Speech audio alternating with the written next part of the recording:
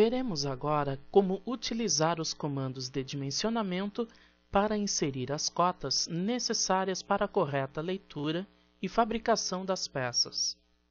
Após a configuração das cotas, é chegado o momento da inserção das dimensões propriamente dita. Os comandos para dimensionamento ou inserção de cotas no AutoCAD estão localizados em dois locais diferentes.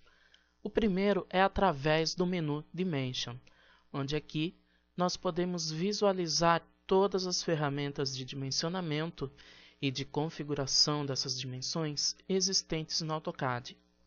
Já a outra opção é através de uma barra de ferramenta, que por padrão não fica visível na interface do AutoCAD, mas que a qualquer momento podemos adicionar.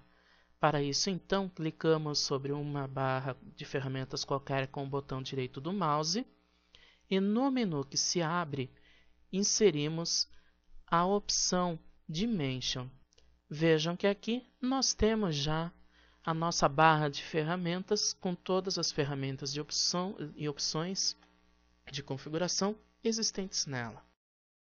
Vamos começar inserindo aqui então cotas em elementos lineares.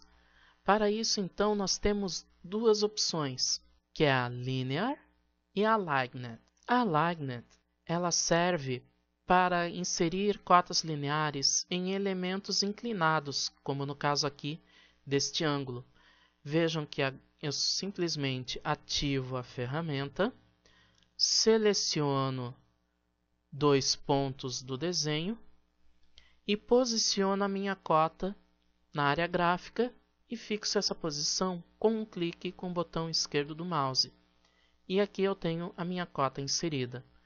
Vou excluir esse dimensionamento, pois não vou utilizá-lo, e vou inserir agora uma dimensão com a ferramenta Linear, que é a que eu vou utilizar aqui. Então, seleciono esta opção, clico em dois pontos de referência e posiciono a minha cota na área gráfica e clico para fixar ela. Veja que agora aqui eu tenho uma dimensão linear. Mas eu também posso, através dessa dimensão linear, inserir cotas de diâmetro. Então, eu vou mostrar como eu faço isso agora. Seleciono novamente a opção Linear, defino dois pontos de referência, ajusto a posição, mas antes de fixar, eu digito a letra M e confirmo com um Enter. Veja que eu entrei agora aqui no modo de edição de texto da cota. No meu caso aqui, eu vou inserir uma dimensão, um símbolo, desculpem, de diâmetro. Para isso, eu vou digitar porcentagem, porcentagem C. Veja que assim que eu digito porcentagem, porcentagem C, o símbolo de diâmetro é exibido. E veja que eu posicionei, obviamente, o símbolo de diâmetro na frente da dimensão.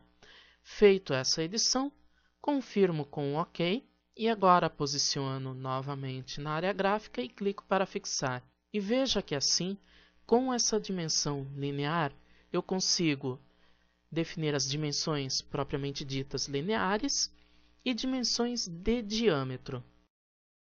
Vamos agora inserir dimensões em circunferências e arcos.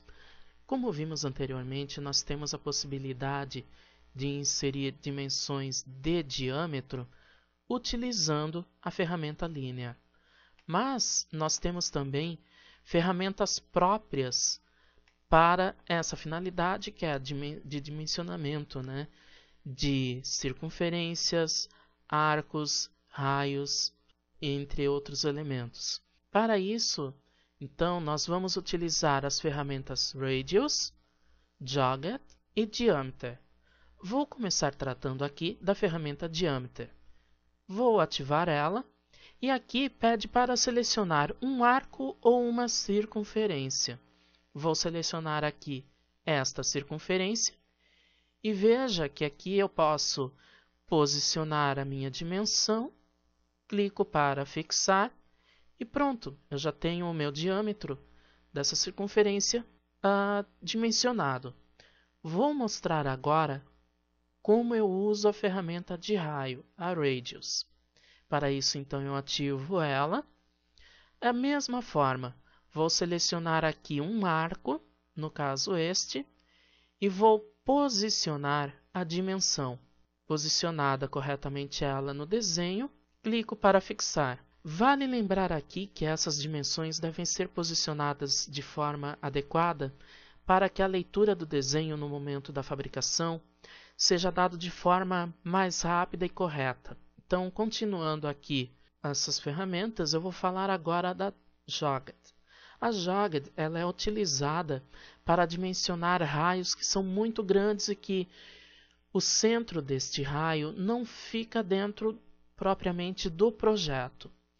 Vou ativar ele aqui, selecionar o círculo desejado, especificar o que o centro da circunferência e posicionar a cota no projeto. Defino aqui. Aqui eu não vou conseguir visualizar essa quebra porque eu tenho um raio pequeno de dimensionamento, mas ele vai criar como nós podemos ver aqui no ícone do comando, uma linha em zigue-zague para definir o centro e o diâmetro, o raio dessa circunferência. Veremos agora como dimensionar ângulos. Para isso, então, vou dimensionar este ângulo aqui. Mas antes disso, eu tenho que traçar uma linha para utilizar como referência para a inserção dessa cota. Para isso, então, ativo a ferramenta Align, defino um ponto base, ativo o comando orto e insiro aqui a minha linha de referência. Agora sim, eu posso ativar o comando Angular para dimensionar esse ângulo. Com a opção Angular ativa, eu seleciono a linha que eu tracei de referência, a linha do, da peça propriamente dita e veja que eu já tenho aqui o meu ângulo. Clico para posicionar e veja que aqui está a exibição da dimensão do meu ângulo.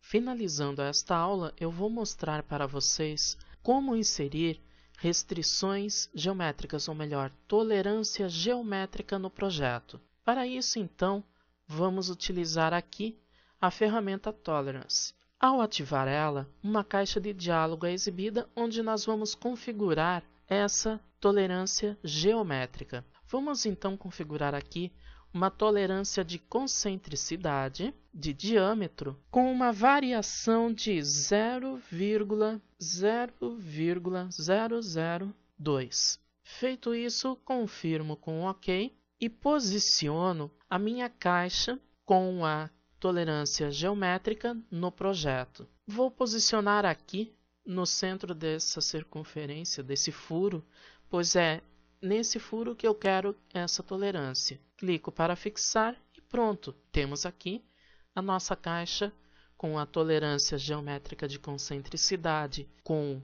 um limite de 0,002 milímetros na furação central desta polia. E assim concluímos esta aula onde aprendemos a utilizar alguns comandos de dimensionamento no nosso projeto.